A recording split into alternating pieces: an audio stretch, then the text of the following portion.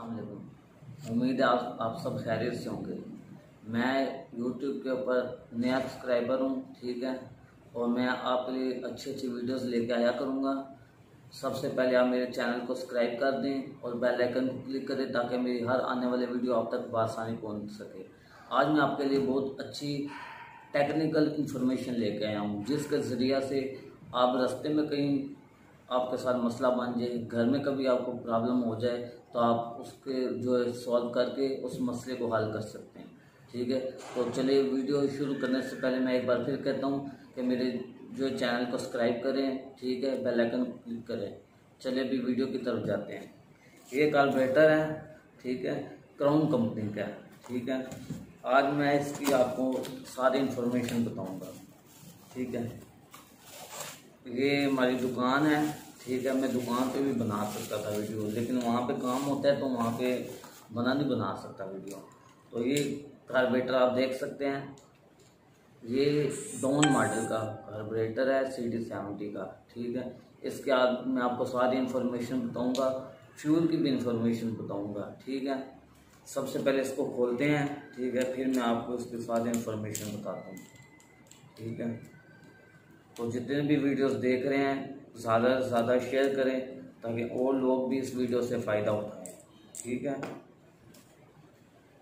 ये don model का carburettor है, ठीक है? और अगर किसी बंदे का कोई सवाल हो, मुझे कमेंट्स में कर सकते हैं। मैं उसका जवाब दूँगा वीडियो के साथ। मैं आपको वीडियो बना कर दूँगा। ये देखें, ये कार्बोरेटर खुल चुका है। ठीक है? मैं इसकी मुकम्मल सेटिंग आपको बताऊँगा करके आज। तो दोस्तों,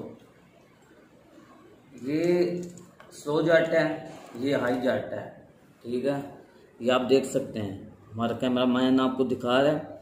ये स्लो जाट है कार्बेटर का C D seventy Dawn model का, और ये हाई जाट है, ठीक है? जब आप स्लो में होते हैं तो पेट्रोल इस जाट में से गुजरता है और जब आप मोटरसाइकिल स्पीड से चलाते हैं तो इस जाट से पेट्रोल जाता है, ठीक है? इसके साथ, इसको हम कहते हैं फ्लोट, ठीक है? आप देख सकते हैं, फ्लोट है और ये है नीडल वाल ये बहुत छोटा सा होता है नीडल वाल ठीक है? यकीनन आपको नज़र आ रहा होगा, ये नीडल वाल ठीक है? बाकी इन्फॉर्मेशन आपको बताते हैं, ठीक है? मैं आपको इसकी सिलाई की भी इंफॉर्मेशन आज बताऊँगा और पेट्रोल कम करने की भी इंफॉर्मेशन बताऊँगा। आप घर में भी पेट्रोल कम कर सकते हैं। ये पिस्टन है, ठीक है, और ये सिलाई है, ठीक है इसकी। इसकी भी आपको इन्फॉर्मेशन बताऊँगा। सबसे पहले कार्बोरेटर की मुकम्मल इन्फॉर्मेशन बता देता हूँ, ठीक है। ये जो इन्होंने रास्ता दिया हुआ है, वाल दिया हुआ है, इधर से पेट्रोल जाता है, ठीक है, कार्बोरेटर के अंदर। इधर से इन होता है और इधर से आउट होता है, इधर से इस डब्बी के अंदर आता है, ठीक है? और ये चौक है, ठीक है, आप इधर से देख सकते हैं, ठीक है? जब चौक, अभी चौक नीचे है, ये देखें, रास्ता खुला हुआ है, ठीक है? अब ये चौक ऊपर मैंने कर दिया ठीक है? तो ये चौक जब आपने चलाना है तो चौक नीचे होनी चाहिए। जब अगर आपका मोटरसाइकिल स्टार्ट नहीं होता तो आप चौक ऐसे ऊपर कर सकते हैं, ठीक है?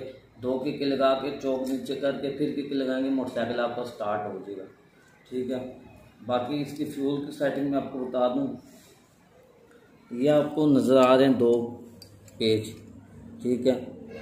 ये जो है रनिंग तेज़ करने के लिए इस्तेमाल होता है, ठीक है? आप इसको टाइट करेंगे, ठीक है? तो रनिंग मोटरसाइकिल की तेज़ होगी। और ये जो मिक्चर है, इसको मिक्चर कहते हैं, ठीक है? इससे आपका मोटरसाइकिल का पेट्रोल कम होगा। कम कैसे होगा? इसको आप टाइट करेंगे तो पेट्रोल ज़्यादा खाएगा। और इसको आप जितना खोलेंगे, उतना पेट्रोल कम होगा। एक बार फिर से, ये आप इसको रिवर्स करेंगे, खोलेंगे इस पेज को तो आपका मोटरसाइकिल पेट्रोल कम खाएगा। और जब आप आप इसको टाइट करेंगे तो आपका मोटरसाइकिल पेट्रोल ज़्यादा खाएगा। ठीक है? इसी तरह पेट्रोल की ये स्लाइड ट्यूब, ठीक है? इस ये आप देख सकते आगे लाक है। ये लाक होना लाजमी है, ठीक है? ये जब आप इसको इधर लाक में से निकालते हैं तो ये आपको सिलाई नज़र आ रही होगी। ठीक है, मेरा कैमरा मैन आपको सिलाई दिखा रहा है, ठीक है? ये आप देख रहे हैं, ये लाक है, ठीक है? इसमें पाँच कट, ठीक है। जितना आप इस कट को ऊपर लेके जाएँगे, इस लाख को ऊपर लेके जाएँगे, उतना आपको मोटरसाइकिल पेट्रोल कम खाएगा। जितना आप इस कट के नीचे लेके आएँगे, ठीक है, उतना आपका मोटरसाइकिल पेट्रोल ज़्यादा खाएगा, ठीक है। और इसको आपने इसी तरह वापस भी डालना है, ठीक है। और ये लाख है, जो इसके अंदर से मैंने भी निकाला है, ठीक है। और ये लाक होना लाजमी है, ठीक है? ये लाक की वजह से, ठीक है? ये भी मैंने लाक वापस डाल दिया, ठीक है? बाकी और अगर आपको मैं ये सारे बंद कर भी, के भी बताऊँगे कैसे दोबारा बंद भी करना है कैलकुलेटर को, ठीक है? ये सिलाई है, ये सिलाई का आप देख सकते हैं कट ठीक है। इसका मुँह जिस तरह पेट्रोल पाइप लगता है, इसका मुँह उस तरफ़ होगा, ऐसे। ये देखें, ठीक है। इसका मुँह इस तरफ़ होगा। जिस तरफ़, फिर मैं आपको बता दूँ, जिस तरफ़ ये आपका पेट्रोल पाइप लगता है ना, उस तरफ़ आपने ये कट का मुँह करना है। तो ये आपका जो है ना, ये पिस्टन बैठ गया, ठीक है। और ये स्प्रिंग है ठीक है, ये जब आप केबल लगाएँगे तब केबल के अंदर ही लगता है।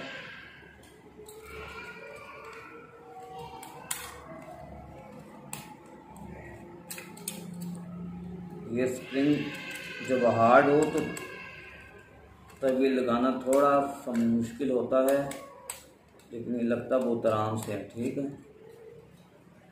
तो जब आप कार्बोरेटर खोलते हैं तो ये दोनों वाल को खोल के आप साफ़ कर सकते हैं, ठीक है। बाकी ये जो है ना ये निडल वाल है, ठीक है?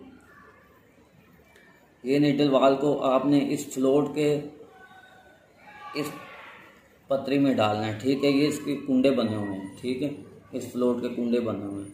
इसको आपने इसके अंदर डालना है, ठीक है? कैमरा मैन आपको दिखाएगा, ये देखे, ये डाल दिया है, ठीक है? ये कुंडा बना हुआ है, ये इस पत्रे के अंदर चला जाएगा। एक मिनट। ये देखें ठीक है?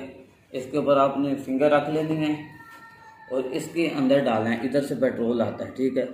ये जब डब्बी फुल हो जाती तो ये फिर वाल निडल वाल का यही काम होता है कि इस डब्बी में जब पेट्रोल पूरा हो जाए तो ये रोक देता है, ठीक है? ये निडल वाल के आगे, ठीक है? रबड़ लगी हुई, ये रोक देता है, ठीक है? ये आपने इसके अंदर इसको डालना है और ये इसकी पिन बाकायदा दी हुई है। ये देखो ये पिन है। ये पिन आपने इसकी ये इधर डाल है ठीक है? ये ये आपने पिन डाल दी, ठीक है? और जब आप कार्बेटर बंद करें तो जैन का लाजमी ख्याल रखें, ये जैन। जो आपका लगा हुआ है ना, ये जैन, ठीक है? ये जैन का आपने लाजमी ख्याल रखना। कभी ये होता है कि जैन जो है, बैठा होता है, टूटा होता है, हमें पता नहीं चलता, हम बंद कर देते हैं। जब ऐसे बंद कर देते हैं, फिर साइडों से हल्के हल्की पेट्रोल की सेम आती है। और पेट्रोल कम खा रहा होता है, लेकिन फिर भी हमें लगता है पेट्रोल ज़्यादा खा रहा है, वो इधर से साइडों से निकलता जाता है। ठीक है? तो ये पेज आपने उसी तरह लगाने हैं, जैसे खोले हैं। ठीक है? उम्मीद करता हूँ आपको कार्बेटर की सारी इंफॉर्मेशन का पता चल गया होगा। अगर तो आपको और कोई इंफॉर्मेशन ज़रूरत हो, पता करनी हो, आप मुझे कमेंट्स करें, मैं आपको उस इंफॉर्मेशन के बारे में बताऊँगा। ठीक है? ओके, खुदा हाफिज़।